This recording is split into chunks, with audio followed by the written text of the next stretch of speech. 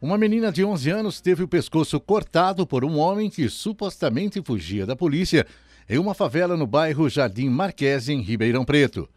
O fato aconteceu na madrugada de ontem. A Polícia Militar informou que a garota foi socorrida e atendida na Unidade Básica de Saúde da Vila Virgínia, onde permaneceu em observação. Ela não corre riscos de morrer. A tia da menina, uma empregada doméstica, contou que a sobrinha dormia na casa da mãe com a irmã de 7 anos, quando o homem pulou o muro e invadiu a casa. Isso por volta de 4 horas da manhã. O suspeito estava armado com uma lâmina de barbear. Ainda segundo a tia da menina, o homem foi até o quarto onde as meninas estavam, tapou a boca dela para que ela não gritasse e disse que estava fugindo da polícia.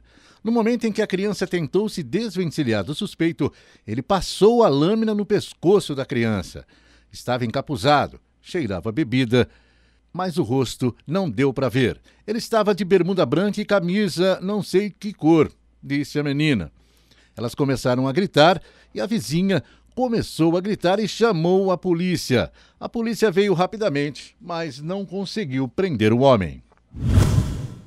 Morte de Núbia. Um laudo do Instituto Médico Legal IML, encaminhado na sexta-feira para a Polícia Civil de Franca, apontou que Núbia Ribeiro, de 21 anos, morreu de traumatismo craniano causado por um instrumento contundente, segundo o delegado Márcio Murari, que cuida do caso.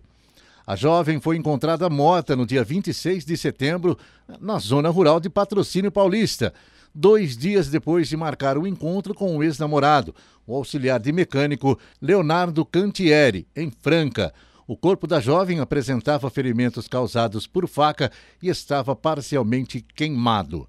Cantieri e sua atual namorada, estudante de direito Lauane Viodres do Prado, além de um amigo do casal, Ítalo Vinícius Neves, estão presos, suspeitos de participação nesse crime.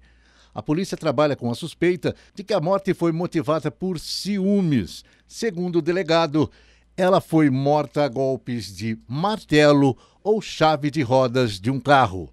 O material utilizado para matar Núbia não foi encontrado. Um homem foi preso em São Carlos após a polícia militar localizar o ponto de tráfico de drogas. No local foram apreendidos R$ 5.100 em dinheiro e 113 pedras de crack. A Polícia Militar chegou até a casa no bairro Santa Angelina após receber uma denúncia. O suspeito foi levado para o plantão policial e ficou à disposição da Justiça no Centro de Triagem de São Carlos.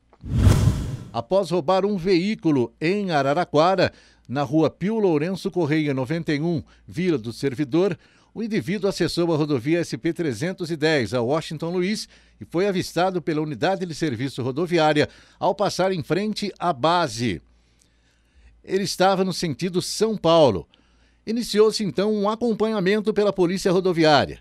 O indivíduo abandonou o veículo no canteiro central, no quilômetro 249, e empreendeu fuga para o perímetro urbano de Ibaté. Ninguém foi preso nesta ocorrência e o carro foi devolvido ao proprietário.